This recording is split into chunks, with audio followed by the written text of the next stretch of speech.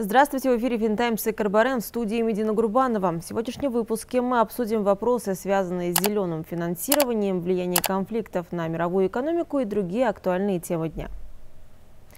Карабахе и Восточном Зангизуре будет построено 28 гидроэлектростанций. Об этом говорится в национальной стратегии по эффективному использованию водных ресурсов, которую накануне утвердил президент Азербайджана Ильхам Алиев. Согласно документу, рассчитанному на 2024-2040 годы, рациональное использование водных ресурсов и гидроэнергетического потенциала Карабахского и Восточно-Зангизурского экономических районов будет обеспечено благодаря внедрению систем умного водоснабжения. Намечено оценить возможности медицинского, прибрежного и водного туризма, дальнейшее улучшение снабжения населения питьевой водой, удовлетворение потребностей в оросительной воде для сельскохозяйственных площадей и эффективное использование водных ресурсов позволят осуществить межбассейновую переброску воды. Таким образом, более 300 тысяч гектаров земель в указанных экономических районах будут обеспечены оросительной водой. Азербайджан стремится привлечь все источники к климатическому финансированию. Об этом заявил министр экологии и природных ресурсов Азербайджана, президент КОП-29 Мухтар Бабаев во время выступления на панельном заседании, проходящем в Баку в рамках ПРЕКОП-29. По словам министра, доступность финансирования должна быть значительно повышена. На данный момент лишь 2% финансовых средств для адаптации к изменению климата поступает из частного сектора, отметил президент КОП-29. Также он подчеркнул, что многосторонние банки развития и международные финансовые институты должны играть серьезную роль в привлечении инвестиций частного сектора. И эта работа в этом направлении продолжается. Отметим, что в Баку проходит второй день ПРЕКОП-29. Мероприятие посвящено теме повышения амбиций и стимулирования климатических действий. It is a crucial meeting uh, speaking about adaptation. As you know, during the G7 presidency... Это ключевая встреча для разговора об адаптации. Во время своего председательства в группе семи правительство Италии представило план по адаптации и сопротивляемости к изменению климата. Мы знаем, как важна адаптация в борьбе с изменением климата, и важно предпринимать действия по адаптации. Таким способом мы сможем уменьшить риск. Италия ощутила на себе риски изменения климата, поэтому сейчас правительство страны предпринимает действия по снижению рисков.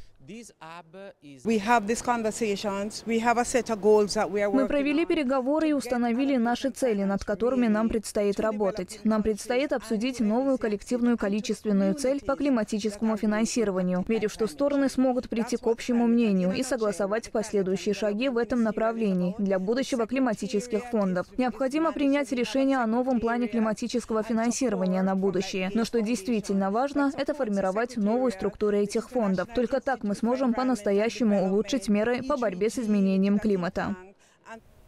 Ну а подготовку к КОП-29 и другие актуальные темы дня обсудим с Эльшаном Курбановым, профессором кафедры управления проектами Азербайджанского университета архитектуры и строительства. Он подключается к нашей студии. Здравствуйте. Добрый день. Э, итак, э, в Баку проходит второй день э, предварительной конференции ПРЕКОП-29. Многие гости столицы, в числе которых и представители ООН, отмечают, что на КОП-29 возлагаются большие надежды как на стимул к конкретным шагам в области зеленого финансирования для развивающихся государств. От чего будет зависеть успех инициатив Баку, на ваш взгляд? А, вы знаете, Баку находится в ключевой точке, временной точке, я бы сказал, точке перелома подхода к зеленому финансированию. То есть э, в Баку будут обсуждаться очень принципиальные вопросы, которые обсуждаются также на прикопе. Э, вопросы, каким образом распределять и кто будет вливать финансирование зеленых энерги, зеленой энергетики.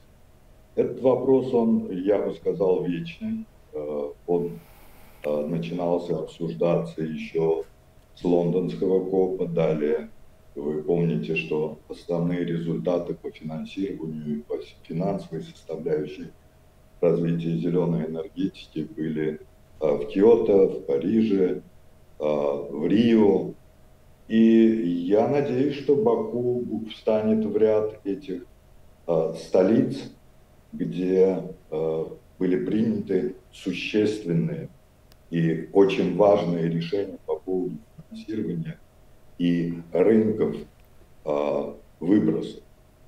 Э, во все времена обсуждаются две основные точки. Первая – это вопрос выбросов, распределение выбросов. И вторая точка – это вопрос финансирования э, и вопрос распределения финансов.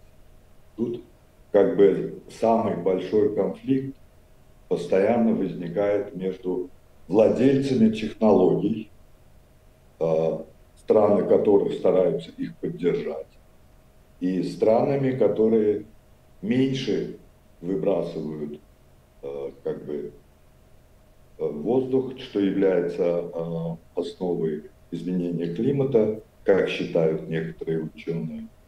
Но при этом Основной вопрос, как справедливо разделять финансирование зеленой энергетики. Почему как справедливо? Потому что в основном деньги и финансирование, которые выделяются для развивающихся стран, автоматически уходят на закупку технологий в те же самые развитые. Получался такой круговорот финансирования, когда развивающиеся страны в сущности просто представляли свои природные ресурсы для производства зеленой энергетики.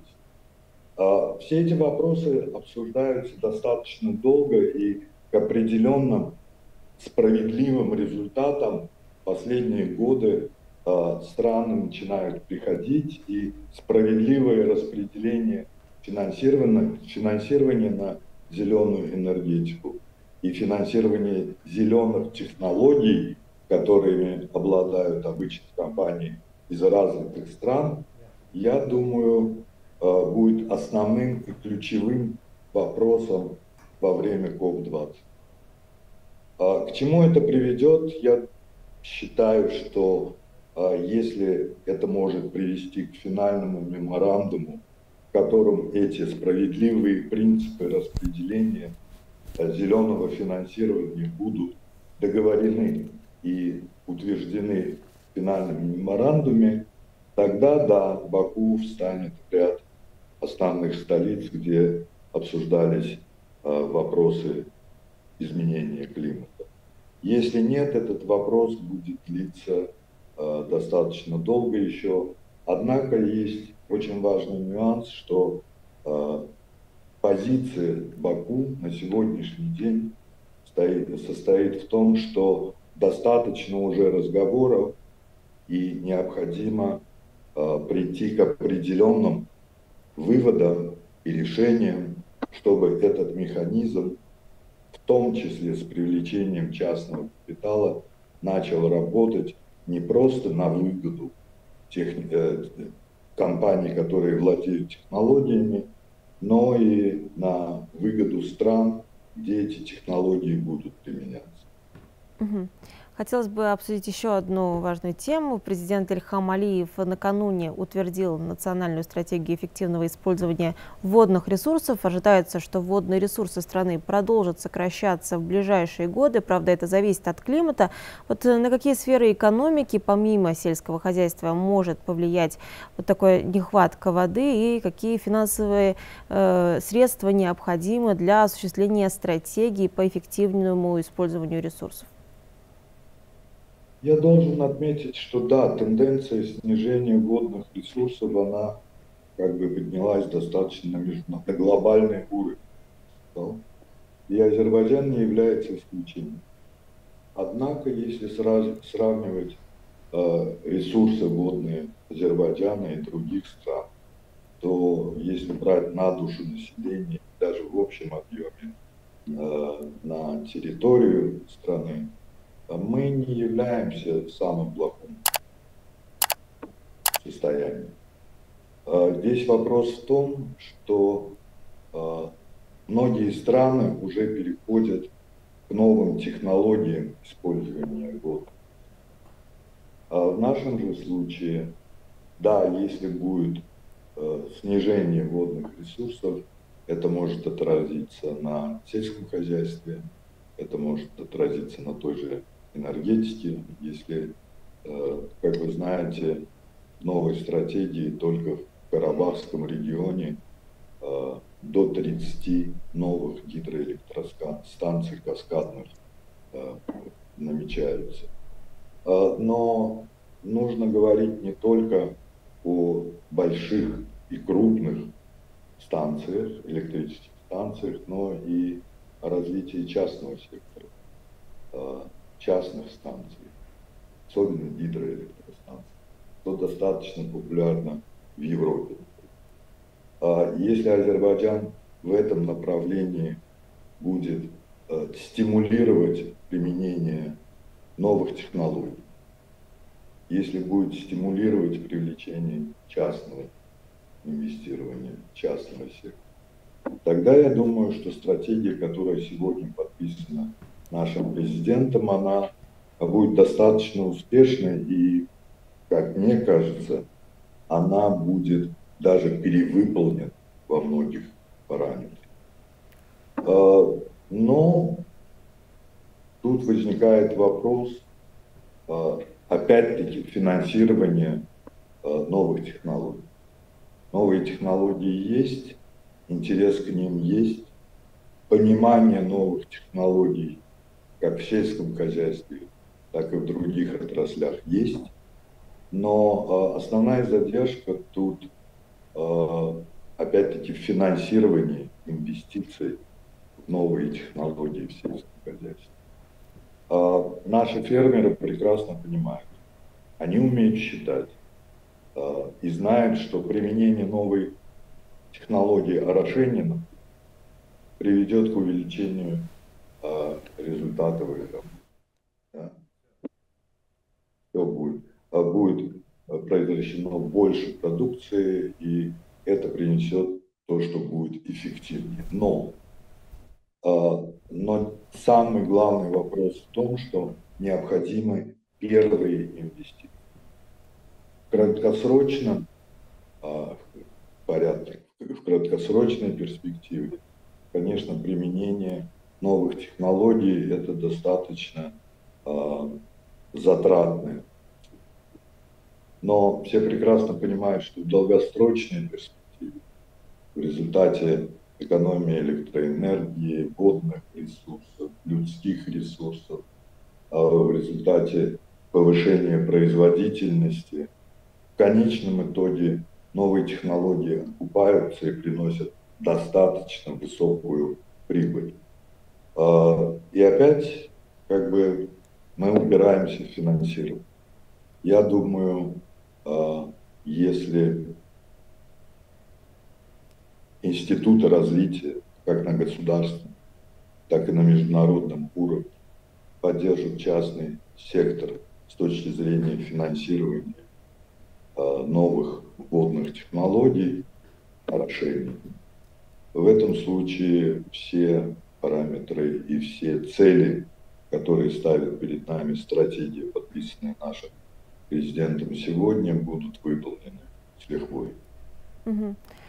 Ну что ж, большое вам спасибо, что подключались к нам. Отвечу на прямой связи с нашей студией был Лишан Курбанов, профессор кафедры управления проектами Азербайджанского университета архитектуры и строительства. А мы продолжаем. Объем мировой торговли товарами в текущем году вырастет на 2,7%. Такая оценка содержится в обновленном докладе Всемирной торговой организации «Перспективы и статистика мировой торговли». Этот прогноз немного превышает предыдущие ожидания аналитиков ВТО, озвученные в апреле. Согласно отчету, в первой половине 2024 года в мировой торговле наметилась тенденция к росту, который в годовом исчислении составил 2,3%. Ожидается, что за этим последует дальнейшее умеренное расширение торговли в течение оставшейся части года и в 2025 году. ВТО отметили, что к середине текущего года инфляция замедлилась достаточно, чтобы позволить центральным банкам снизить процентные ставки. Это должно увеличить реальные доходы домохозяйств и стимулировать потребительские расходы. В то же время более низкие ставки могут подстегнуть рост инвестиций бизнеса. Генеральный директор ВТО Никози Аконджо Ивела заявила, что в этом году ожидается постепенное восстановление мировой торговли, но следует сохранять бдительность в отношении возможных неудач, в частности, потенциальной эскалации региональных конфликтов, подобных Ближневосточному. По ее словам, Последствия могут быть наиболее серьезными для затронутых конфликтами стран. Но это также может косвенно повлиять на глобальные цены на энергоносители и маршруты морских перевозок. ВТО призывают к постоянным усилиям по развитию инклюзивной мировой торговли.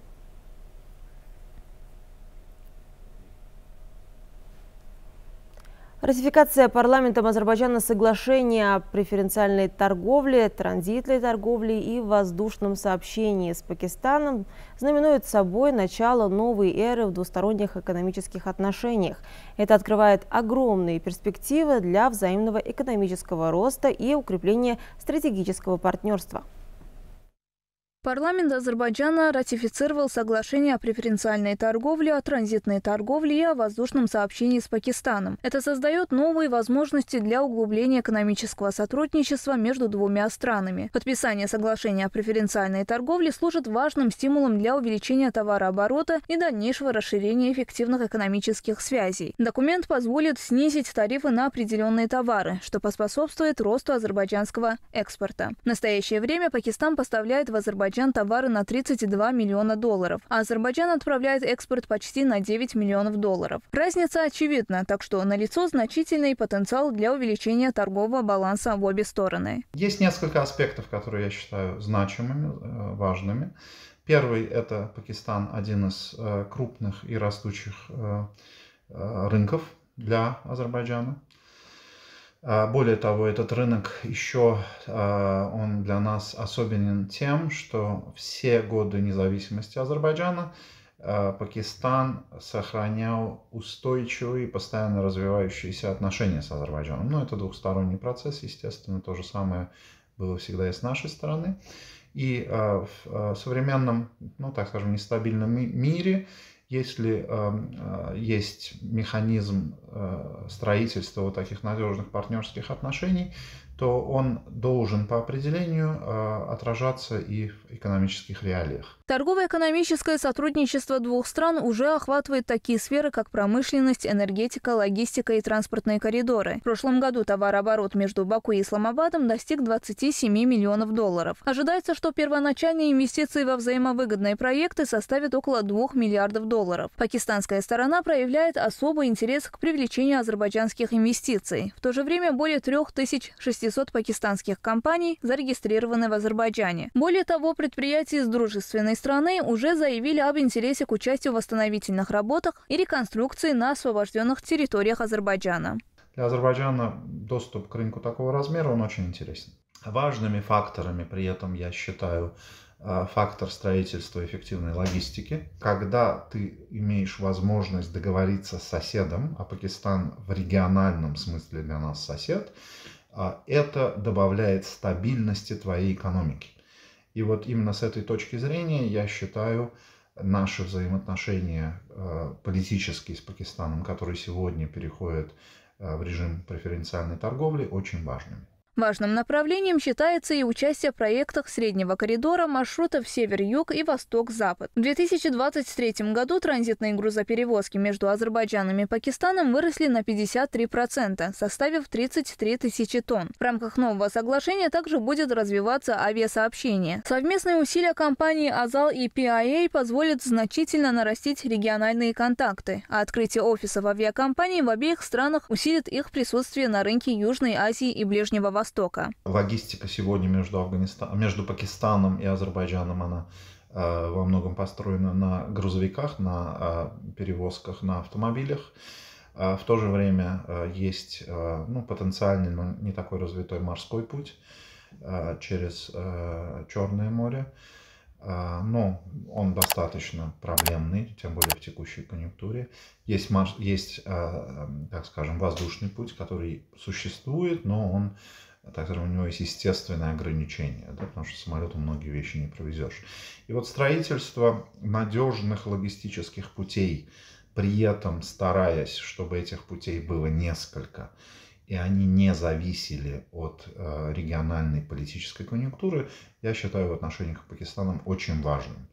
И нужно это делать совместными усилиями. Таким образом, благодаря снижению торговых барьеров, активному инвестиционному сотрудничеству и развитию инфраструктуры, Баку и Исламабад имеют все шансы значительно увеличить объемы товарооборота, а параллельно и укрепить свои позиции на глобальном рынке. Партнерство сулит взаимную выгоду и способствует построению более стабильного и процветающего будущего для обоих народов. Нармина Хамбабаева, CBC. Углеводородные ресурсы важны для процветания и прогресса всех людей, говорится на официальной странице ОПЕК на платформе X. В этом убеждены участники пятой встречи высокого уровня энергетического диалога между Организацией стран-экспортеров нефти и Форумом стран-экспортеров газа. Мероприятие состоялось в режиме видеоконференции. Генеральный секретарь ОПЕК в своем выступлении отметил, что совокупная доля нефти и газа в глобальном энергобалансе – останется выше 53% в 2050 году. Это подчеркивает необходимость адекватных и своевременных инвестиций для обеспечения соответствия предложения спросу. Жизнь без нефти и газа невообразима. Только по нефти общие потребности в инвестициях до 2050 года оцениваются в 17 триллионов 400 миллиардов долларов, или около 640 миллиардов долларов в среднем за год. Эти энергетические реалии напоминают нам, почему работа наших двух организаций так важна и почему сотрудничество между нами так значимо. А сейчас мы переходим к данным по мировым рынкам и начнем с изменений на рынке нефти. Цены на эталонные марки снижаются, отыгрывая существенный подъем по итогам предыдущей сессии. Рынок продолжает следить за ситуацией на Ближнем Востоке, ожидая новостей о дальнейшем развитии ситуации. На подъем цен на нефть ограничивается, э, ограничивается сохраняющимися опасениями в отношении перспектив спроса в Китае, а также ожидание наращивания добычи странами ОПЕК+, отмечает Market Watch. Таким образом, стоимость фьючерсов на марку Brent составила 79 долларов 18 центов за баррель. Фьючерсы на нефть WTI опустились до 75 долларов 69 центов. Что же касается азербайджанской нефти, то ее стоимость накануне значительно выросла, преодолев отметку в 80 долларов. Рассмотрим цены на драгоценные металлы. Котировки золота продолжают уверенно расти. Драгоценный металл становится более надежным на фоне неспокойной ситуации в мире. Стоимость золота таким образом составляет 2661 доллар 80 центов. Серебро также поднялось в цене и продавалось по 31,5 доллар за тройскую унцию. Стоимость платина на сегодня превышает 977 долларов. И в завершении об американских фондовых рынках, которые завершили торги в минусе. В ходе биржевых торгов инвесторы оценивали стат-данные и новости компаний. На фоне рекордного недельного падения капитализации азиатских рынков Dow Jones опустился на 14%, значение S&P 500 потеряло 21%, NASDAQ изменился незначительно, снизившись всего на 0,05%. Тесла переходит от массового производства доступных автомобилей к созданию роботакси и робофургонов. Несколько часов назад в Лос-Анджелесе Илон Маск презентовал концепт двухдверного роботакси, стоимость которого составит менее 30 тысяч долларов. Предприниматель также поделился планами создания RoboVan – автономного фургона, способного перевозить до 20 пассажиров, и показал гуманоидного робота Optimus. Эпатажный американский бизнесмен, владелец компании Tesla Илон Маск представил давно обещанное роботизированное такси CyberCab. У автомобиля нет ни руля, ни педали управления, зато есть две двери типа крыло чайки, открывающиеся вверх. На презентации Маск также сообщил о планах по созданию робофургона, объясняя это тем, что Tesla меняет акцент с производства доступных массовых автомобилей на робототехнику. Что касается создания модели CyberCab, то ее выпуск начнется начнется в 2026 году, и стоить она должна менее 30 тысяч долларов. Маск отметил, что эксплуатационные расходы со временем снизятся до 20 центов за милю, а зарядка будет индуктивной, без необходимости в розетках, то есть беспроводной. Я полагаю, что стоимость автономного транспорта станет настолько низкой, что его можно будет рассматривать как персональный общественный транспорт. Для города средние затраты при проезде в автобусе, не считая субсидированной цены билета, составляют примерно 1 доллар за милю, в то время как эксплуатационные расходы на киберкаб по нашим оценкам, со временем снизится примерно до 20 центов на милю. Общая стоимость, включая налоги и другие расходы, вероятно, составит около 30-40 центов на милю. И да, вы сможете его приобрести. Мы рассчитываем, что цена будет меньше 30 тысяч долларов. По словам Маска, автомобили Tesla используют искусственный интеллект и камеры, обходясь без дополнительного оборудования, которое применяют другие компании для своих роботакси. Однако инвесторы и аналитики отметили, что такой подход может быть сложным как с технической, так и с нормативной точки зрения. Бизнесмен также представил более крупное беспилотное транспортное средство под названием RoboVan, которое способно перевозить до 20 пассажиров, и показал гуманоидного робота Tesla Optimus.